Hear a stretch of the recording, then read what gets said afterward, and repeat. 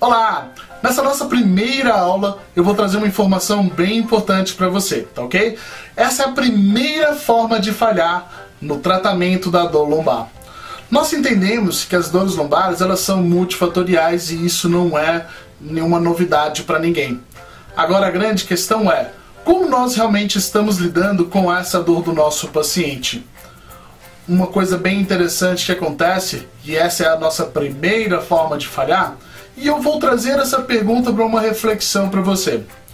Você se preocupa com a postura do seu paciente no dia a dia? Você acha que a postura é algo determinante para o surgimento e piora dos sintomas de dor? Você crê realmente que tendo uma boa postura no dia a dia, uma pessoa pode ficar totalmente livre da dor?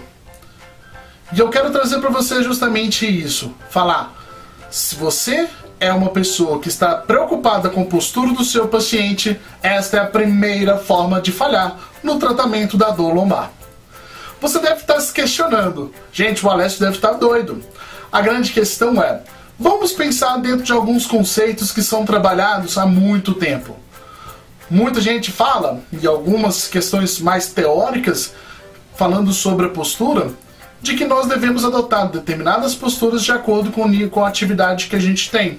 Então, por exemplo, se eu permaneço muito tempo sentado, eu devo fazer com que minhas articulações estejam totalmente livres e que gere máxima potência para executar essa tarefa. Algumas pessoas, quando vão fazer uma avaliação postural, por exemplo, elas tentam identificar e relacionar essas estruturas de acordo com outras estruturas, seja na posição estática, seja no movimento dinâmico.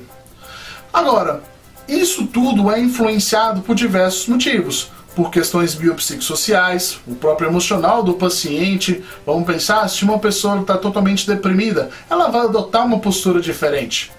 Se uma pessoa, por exemplo, é obesa, ela vai adotar uma postura diferente. Se uma pessoa ela tem algumas deformidades, algumas alterações anatômicas, ela vai adotar uma postura diferente. Então tudo isso a gente começa a compreender que isso é totalmente o que? Variado. O que muitas pessoas acabam não abrindo justamente a mente é como realmente nós estamos executando as nossas tarefas no dia a dia.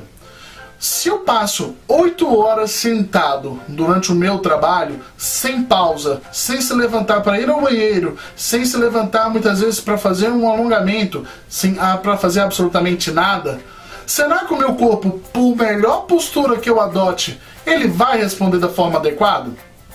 Será que se eu permanecer durante horas em pé, Será que eu vou realmente, o meu corpo ele vai se adaptar a essa postura durante tanto tempo? Será que para poder varrer uma casa, eu devo simplesmente dobrar o joelho ou fazer uma alteração ergonômica do tamanho do cabo para essa pessoa poder executar a tarefa? Será que apenas isso é suficiente? Eu alterando essa postura, então ela vai conseguir fazer suas atividades e vai ficar sem dor? Se uma pessoa tem uma dor lombar, Será que eu mandar ela ficar com a coluna totalmente reta, isso vai evitar o estresse da, da, da, da coluna dessa pessoa? E a resposta é não. O grande dilema hoje que nós vivemos é justamente a pouca variedade de posturas que nós executamos no nosso dia a dia. Muitas pessoas passam 12, 14, 16 horas dirigindo.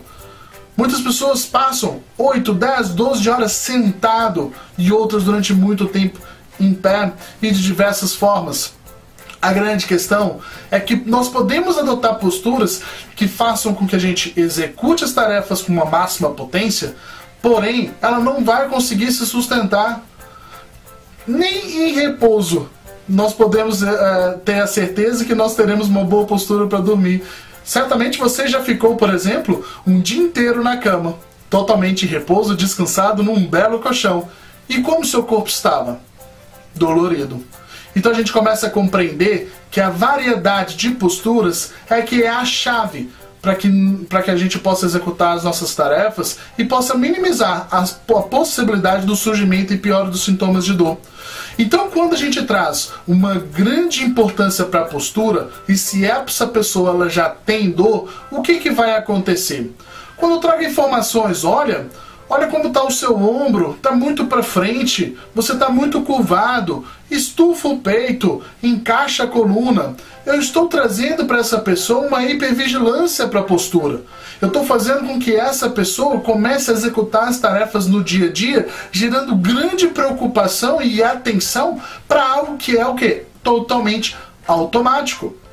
Durante o nosso dia, nós vamos adotar posturas que vão ser variadas e isso não importa é o nosso corpo foi feito justamente para isso. Mas a partir do momento que eu oriento o meu cliente, fazer o meu paciente fazer com que ele se preocupe com a postura o tempo inteiro, isso vai gerar uma grande atenção e tensão muscular.